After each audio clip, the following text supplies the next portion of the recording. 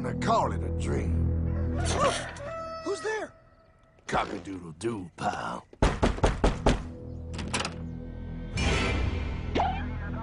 No, no, no, no, no! I don't have any more money! My job sucks right now, please! I'll have more money next month! You can't take my house! Is that your signature?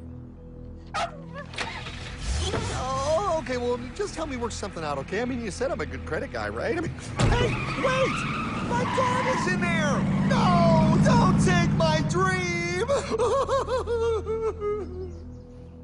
oh, how did this happen?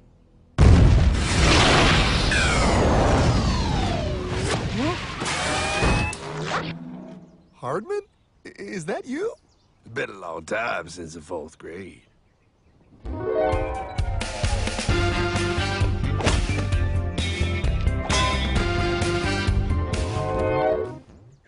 A time machine? There's no need to concern yourself with my astounding accomplishments. Best get in. There's not much time. I gotta go down to the bank and get my life back. They took everything! Oh, bank ain't gonna help you now. Towel in the trunk. Extra set of balls. Put them on. You're gonna need 'em. You're gonna get my dream back? No, pal. You are. I'm here to show you how.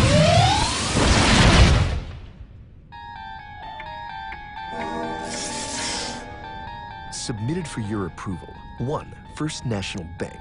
What is a bank, you ask? A curious place where both space, time, and irony exist. And yet, don't. Are you gonna be doing that the whole time? Pay attention, Pyle. Exhibit A, those who have come to deposit and safely store their earned monies. Exhibit B, those who need to borrow said money for purposes unknown. Hey! That's me! Ergo, Exhibit C, the bank only has so much money in the vault to lend out to people such as you. Hey! Hey, that's the guy! He took my house! Really screwing my vibe here, pal. Space-time continuum. He can't hear you. Just let me narrate. Now, where was I? So you see, by the time he got to you, Pyle, his bank was out of money. But he gave me lots of money and, and charged me a lot of interest. Yes, that's the only way banks make money, by making debt loans. Debt equals money, Pyle. Remember that. Debt equals money. The more loans they make, the more money they make. But if they don't have any money, then where did my money come from? You're gonna want to take a step back, Pyle. Whoa! No way! Yes way. And that's nothing. Hey, buddy, need some money? Didn't do that! Oh, they did exactly that, pal. Remember, banks make money by making loans, by selling debt, even to bad credit risks. Yo, have some money, dude. Just sign here. Oh my gosh! Mmm, they called it free money. Yeah, that's exactly what my loan guy told me. Free money! But it ain't free. The worst part was offering money to people who don't even need it. People, pal, like you. You're right. I didn't need him. I was happy here. I didn't need it.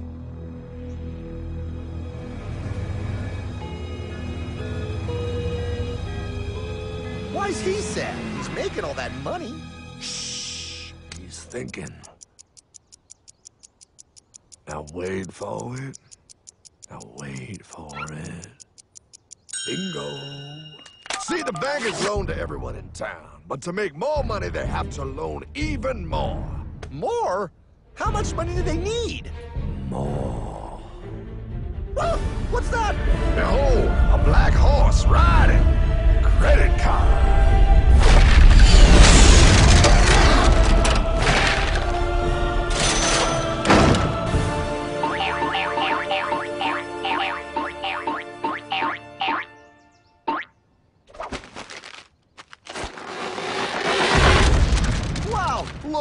I mean, it's gonna be okay. Everything's gonna be okay. What now? Now, with pie with all this money, we might as well party.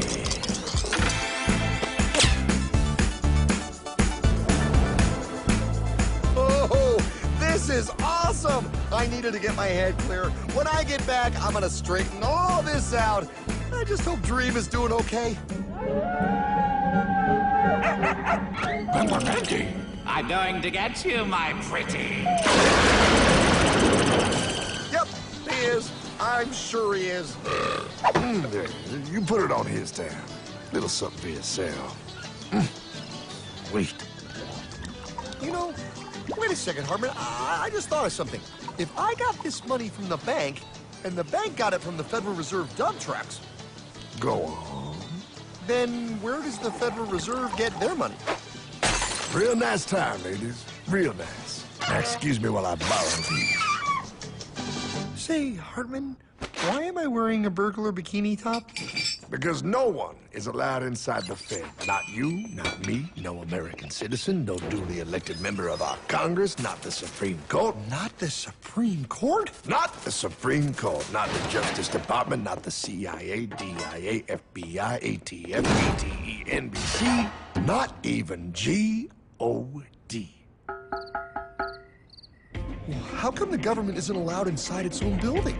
Government.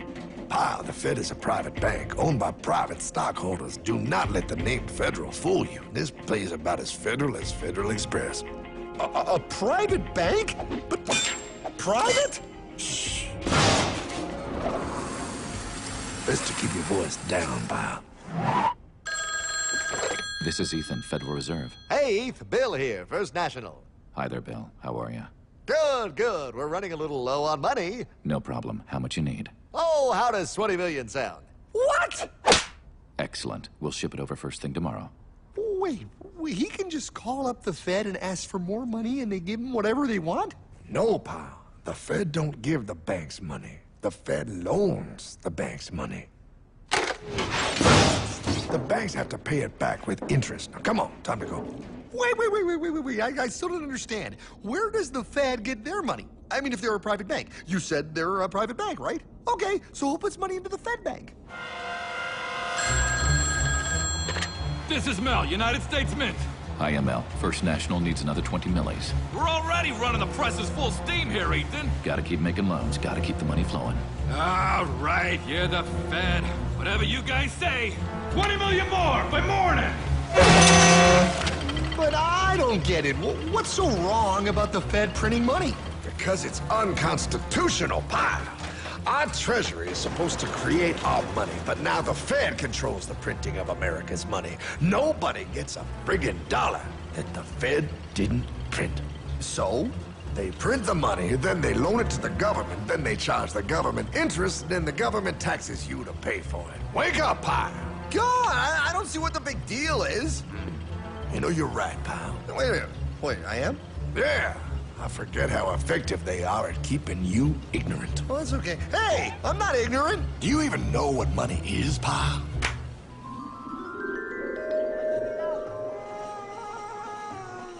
Long, long ago, people bartered. They traded things they had for things they wanted. I'll trade you my raspberries for that there pot pie. Uh, I don't want your berries. Come on, they're sweet berries. They're not sweet. They're old, and I don't like berries. Give me that pot pie! No. As you can see, this bartering situation created some problems. Then one day, a goldsmith walked up and said, Now, everybody thinks gold is valuable, so why doesn't everybody trade gold for things they need? The price was set for gold, and now it was very easy to conduct commerce because people could trade gold for all the things they needed. Hartman! Wow, look at all my gold! Hey, hey, stop them! That's my gold! Damn thieves! Say there, Pyle. I've got a vault and some guards. I can keep your gold safe for you for a small fee. Yeah, sure, that'd be awesome. You see, Pyle, this is how the first bank made money. There you go, Pyle. I owe you 100 gold coins. Okay, great. Come back anytime and redeem your gold when you want it. It'll be right here in my vault. Now you're holding the very first paper money, Pyle. Wow, this is great. It all makes sense. Oh, that's right. It was good, and everybody started using IOUs because everybody knew the IOU was as good as gold. Wow, this candy is really a good price. One IOU. I'm getting some more for later. Hey, wait a minute, it was just one IOU. Ten IOUs for chocolate? You can't just raise prices like that. Oh, the Candyman can. Oh, the Candyman can! Wait, that is just frickin' wrong. It's called inflation, pal. It makes your IOUs worth less and less until they are worth nothing. Less bang for the buck. Dollar ain't what it used to be.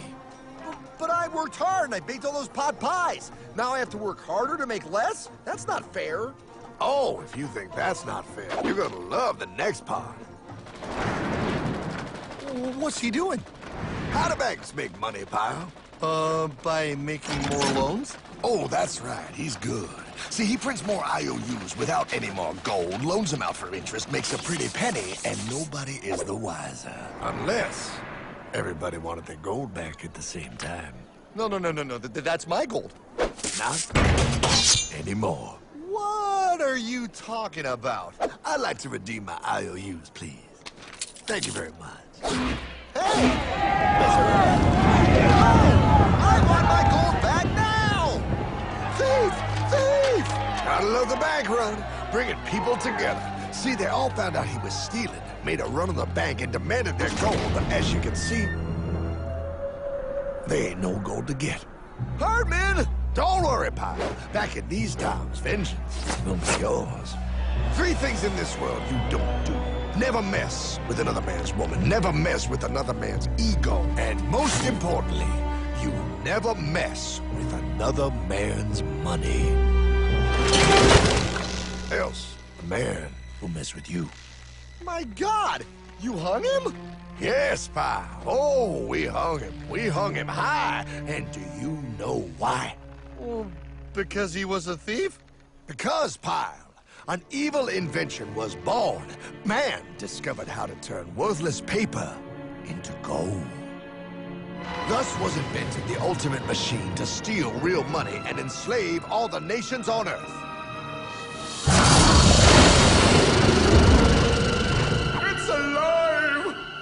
Now come on. You're just being dramatic. I, I mean, I lost my house, but What is that? Explain. a nuclear power plant? Mm-hmm. Produces lots of electricity and little pollution. An invention for the good of humanity. Okay, but what's this have to do with... Three, two, Holy! atomic energy. A discovery more powerful than anything man had yet conceived. It can be used for good or evil. Now, unlike Einstein, the goldsmith's discovery has been kept a closely guarded secret. It was never intended for you to see. This discovery is called fractional reserve banking. In the wrong hands, it's more powerful than the nuclear bomb in its ability to completely and utterly destroy a nation who is subjected to its perversion. No, no, no, no, no, no. It is time we stop this evil secret and the men behind it You're being ridiculous. before America is destroyed forever. Believe it, Pat. No, no, no, no, no. I just want my dog back. Damn it. That's it. I give up. Let them live in chains. No, Hartman. The tree of liberty must be refreshed from time to time with the blood of patriots and tyrants. Thomas Jefferson? Mr. President, how do I get him to understand? As we did, son, remain vigilant. Too many have hidden the truth, and the light of our liberty dims with every passing day. Quickly, take my horse. Show him. Wait, show me what? Where are we going? Stallion of Liberty! Brought on the hoary wind! Oh, Waterloo! Hold on, we gotta get through! A money machine! There it is! Hey, is that the same people? Rich bankermen from Germany flying under the banner of the Red Shield. They finance both sides of the war. We must hurry! That's him, the Red Shield courier! Shoot him! No, I'm not shooting anyone. Damn it, Pie! What? He beat everyone back with the news of the war and told England that Napoleon won. The Red Shield backers in London pretended that England was doomed and started selling their English stocks. The English went into a selling frenzy to get rid of worthless English money. But The English won, right? Of course they won. But it was a trick by Red Shield. They waited until the stocks plummeted to pennies and then bought England back for nearly nothing. What? They did that? How? When the English leaders found out, they had no choice but to give themselves over to the Red Shield. Their money was gone, and they were slaves to the Red Shield war debt. Since that time, the English have been paying their national taxes directly to the Red Shield private bankers. The people have no idea. But the bankers bragged about what they did to us, laughing at us all the way to the bank. Why, it's the best business I've ever done. If I can control a nation's wealth, I care not who makes its laws. Oh, is this what Jefferson wanted to show me? No. Look. They're in America, too? The Red Shield banks are here, Pyle. Seeking a way to conquer our American dream. The dream you have, Pyle. The dream of free men. They tried to take over our country many times and failed because Jefferson and the Patriots vowed to stop the evil tyrants at all costs. By authority of eternal God, he would not let the bankers win here. To preserve our independence, we must not let our rulers load us with perpetual debt. We must make our choice between economy and liberty or profusion and servitude. Wow. I place economy among the first and most important of Republican virtues, and public debt is the greatest of the dangers to be feared. It is incumbent on every generation to pay its own debts as it goes. We must have a central bank to secure this country's finances. If the American people ever allow private banks to control the issue of their money, first by inflation and then by deflation, the banks and corporations that will grow up around them will deprive the people of their property until their children will wake up homeless on the very continent their fathers conquered. Jefferson, you're mad. This country will have a central bank. Who's that? America's first Secretary of Treasury. Alexander Hamilton? Not for long. Aaron Burr, Thomas Jefferson's vice president. They didn't take too kindly to our first sec treasury. Sweet shot, Burr. The first attempt at a central bank only lasted 20 years and we shut it down. But the bankers tried again against Old Hickory President Andrew Jackson. You are a den of vipers and thieves. I intend to rout you out, and by the eternal God, I will rout you out. After surviving an assassination attempt, Jackson finally defeated the bank in 1836. When asked what was the greatest accomplishment in his life, Old Hickory replied, I killed the bank. and those were his last words. I killed the bank. And with real money backed with real gold, our country experienced the greatest boom in any nation's history. Oh, it was beautiful, pal. But the bankers, greedy for more power and wealth, were concocting their most ambitious plan yet to once and for all take control of the finances of the United States. In 1910, a secret meeting was held at the J.P. Morgan estate on Jekyll Island off the coast of Georgia. This meeting was so secretive, so concealed from government and public knowledge that the 10 attendees used code names. I am clearly the richest man, so I should be the one to run the super secret central bank. I own all the oil in America. I'm clearly richer than you will ever be, hula girl. I should run the super secret central bank. You're nothing compared to me, lube job. I shall run the secret bank. Silence! Supreme Master Leader, I didn't know you were gonna be here. I'm not. Neither are you, dumbass. Oh, yeah, right, right. He's so smart. None of you shall run the bank. We have failed in the past because of openness. This time, the key to success is secrecy. The people must believe that they run the bank. Yes, brilliant! A sneak attack. What's the plan? We first create panic, then we show them the solution. With our man in office and well-planned timing, we will have our central bank. And so the people think it is theirs. We shall christen it Federal. The Federal Reserve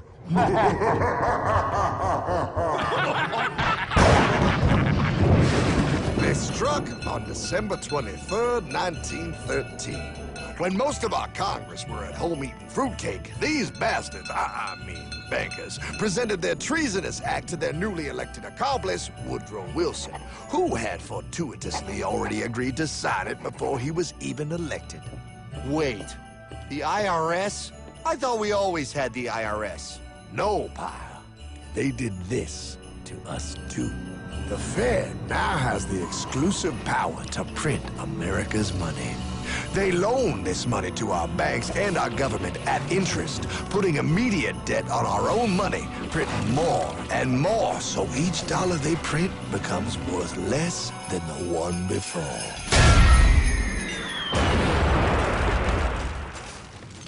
Merry Christmas. What in the hell is that? That Pyle is how our government now must pay back these debts to the Fed. Your taxes do not go to your government. They don't? Hmm. It's the greatest theft in human history. But, oh, okay, I mean, I sort of get what you're saying, but it's also confusing. And really, Hartman, I don't see how it affects me at all. If I had more money, none of this would have happened. Hartman?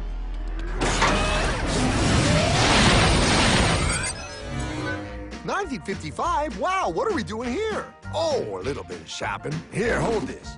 Gallon of gas, 23 cents. Postage stamp, 3 cents. Ounce of gold, $35. Hot baby, priceless.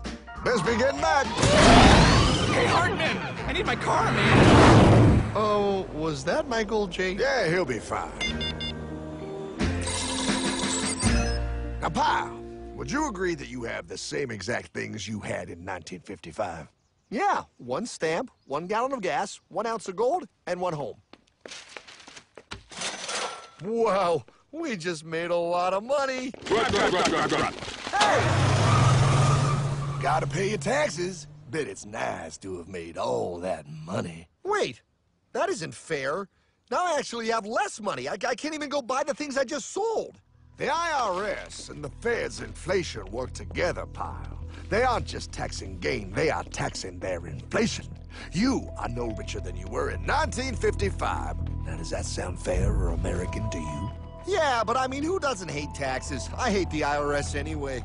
Pyle, the higher they make the inflation, the more your money they take. It's thievery. You're not paying taxes on any more. You are paying taxes on the same. And now, you have less. They take our property away right in front of our eyes, just like Thomas Jefferson said they would. What's that? Oh, they found us! Quick, a sword! What sword? We don't need your banking machine! I'll condemn you to die, damn it! Die! Pyle! The Yankee bogey on my nine! Take him at his knees!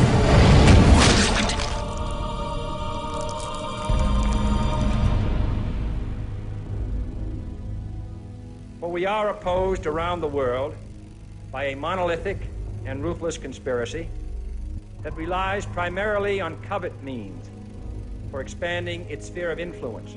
What's happening? Where am I? I believe perhaps you understand now, pal, but you are afraid. JFK. Hartman, what does this have to do with my house and my dog? Oh, okay, that's enough. I, I want to go home now. This is the last president to stand up to the Fed. You must see.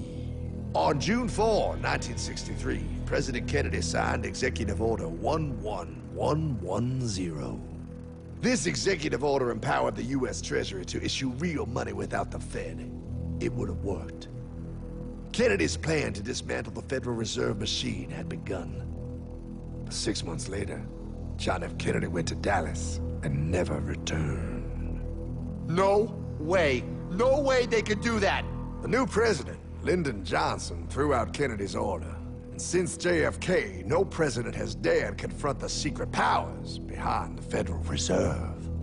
They consolidate bigger and bigger banks, print more and more money, accountable to no one, decimating our nation's wealth for the benefit of a few. Why? Why do this? If they hurt us, it hurts the global bankers too. No, pal. They are protected. They are too big to fail. But I'm not. Those sons of bitches! Hmm. Sons of bitches all.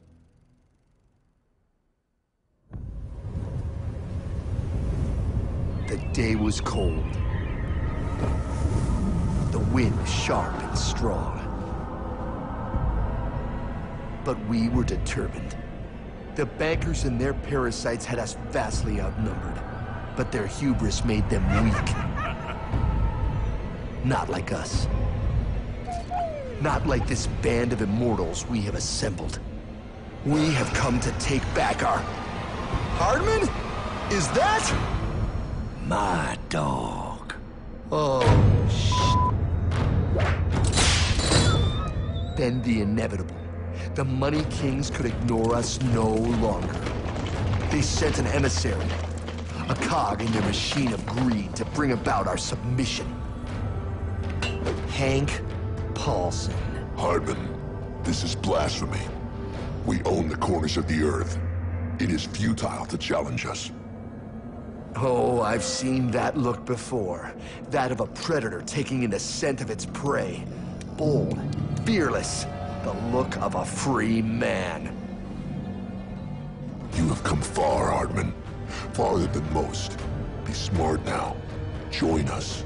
We will bring you money, power, everything you want. You can be one of us. If you will kneel.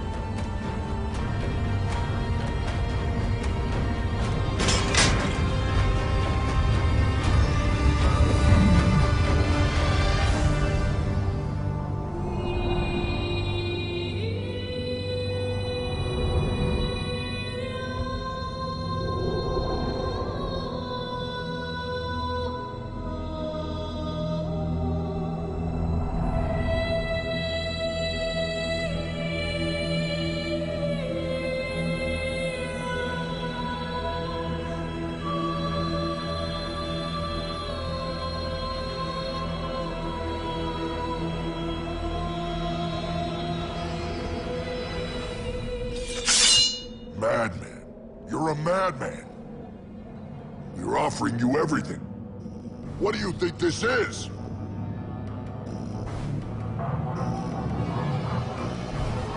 This is America!